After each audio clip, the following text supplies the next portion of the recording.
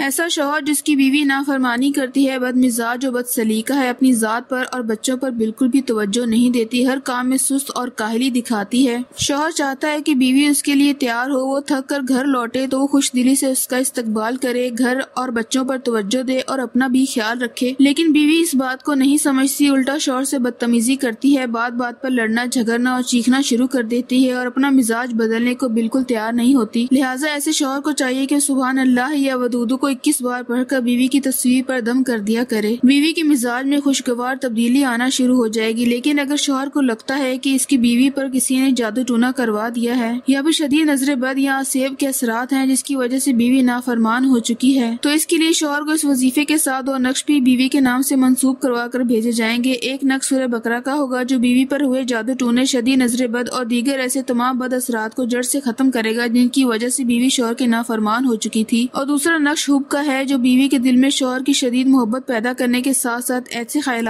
पैदा करेगा कि बीवी शोहर की हर बात मानेगी, उसकी फर्मा बरदार हो जाएगी और अपनी जात पर और घर बच्चों पर खास तवज्जो भी देगी इनशाला दोनों नकूश का हदिया चौदह चौदह सौ है, लेकिन मजबूर अफराद को एक नक्श फ़ीस